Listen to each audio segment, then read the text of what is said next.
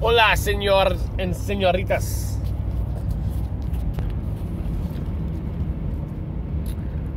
¿Dónde está?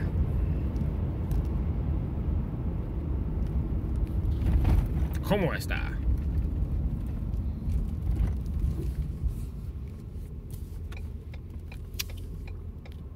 So peep this, guys. I fucked up. Didn't mean to, but I did. Realized it afterwards. Do I get a pass? I don't know. We'll find out. I'll tell you what happened. So I was at Target, right?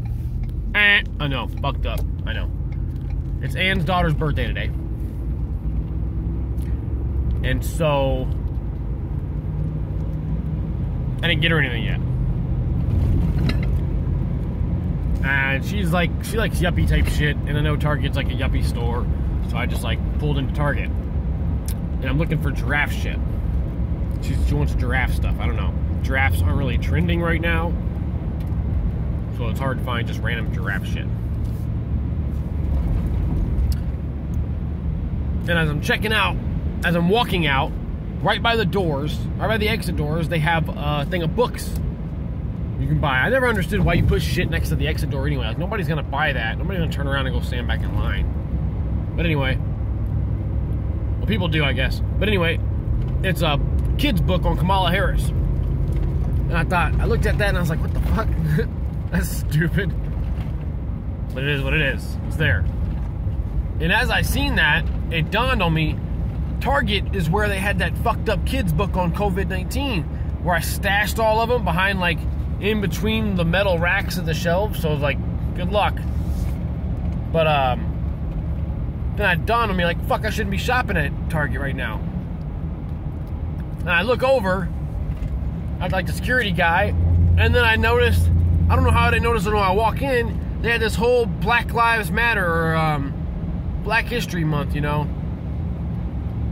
fucking setup. And I was like, what the fuck, man? I just stopped. I kind of damn near stopped altogether and it just kind of slowed and halted my process of walking.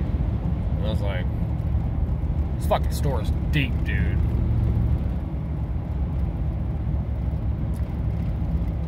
You know what else is going up? The price of Reese's. That's right, Reese's. Peanut butter cups, you know, the delicious things. That's probably my only corporate crutch.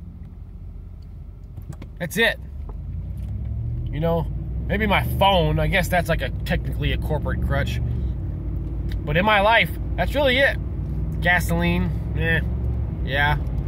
I depend on a corporation for that. Very few corporate crutches in my life, and Reese's Pieces takes a fucking hold of one of them. I love those little bastards. Big box stores still got them for two buck or for one buck, but ain't going to Meijer anymore. Stop going to Walmart or